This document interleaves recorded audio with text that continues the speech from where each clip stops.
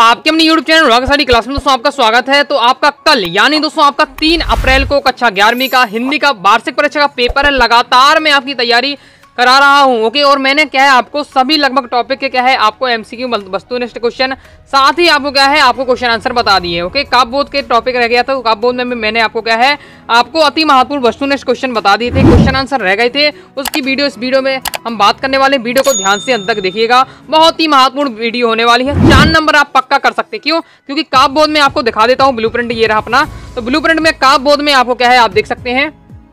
Blue print में दोस्तों ये देख देख सकते हैं आप, आपको क्या है दो दो नंबर के दो क्वेश्चन आने ओके दो दो नंबर के दो क्वेश्चन आने मतलब चार नंबर का आपका पक्का कर सकते हैं। कौन से क्वेश्चन तैयार करना है, जिससे आप क्या है, कल के पेपर में आप क्या है हंड्रेड परसेंट अपना दे सके ओके चलिए मैं आपको क्वेश्चन बता देता हूँ ओके तो ज़्यादा क्वेश्चन नहीं है, मैं पाँच से छह क्वेश्चन बताऊँगा नहीं आपको अच्छे एकदम रट लेना है ओके तो पहले सबसे पहले आपको महाकाव्य और खंड काम में अंतर एकदम अच्छे से आपको रट के जाना है। महाकाव्य और खंड काम में अंतर इसमें सही तरीका नहीं दिया। आप तो क्या है, जो बॉक्स में लिखा रहता है ओके वो आपका इजी रहेगा। छोटे छोटे रहता है उससे आपको लिख लेना है। ओके ये आप क्या है, इसी में जो पॉइंट दिए इसी आप क्या है बॉक्स में बनाकर लिखिएगा। तो क्या है, आपको बेहतरीन तरीके से देखेगा, आपको तुरंत ही दो नंबर मिल जाएगा। दो आपको, दो नंबर क्वेश्चन रहने वाला है तो केवल और केवल आपको दो पॉइंट लिखना है। सभी नहीं, तीन से चार, पाँच छः पॉइंट लिखना है। नहीं, बिल्कुल आपको दो पॉइंट आपको बेहतरीन तरीके से, आपको बिल्कुल सही लिखना है ओके तो आप देख सकते हैं आपको इसे पूरा पढ़ेंगे तो उससे भी आप क्या है, दो पॉइंट आप छाट कर बना सकते हैं। या आपको नेट पर भी मिल जाएगा, महाकाव्य और खंड काम में अंतर ओके तो आपको ये अच्छे से आपको तैयार कर लेना है। इसके बाद दोस्तों आपको नेक्स्ट तैयार कर लेना है।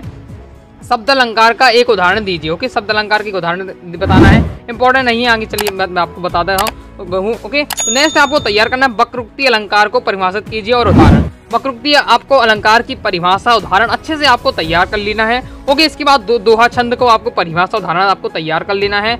ओके, ये आपके दो दो छंद आपको अच्छे से तैयार कर लेना है। साथ ही आपको क्या है, यमक अलंकार की परिभाषा उदाहरण आपको तैयार कर लेना है। ओके तो ये आपके टॉपिक दिए हैं, अच्छे से आपको तैयार करना है। छंद केवल दो ही है।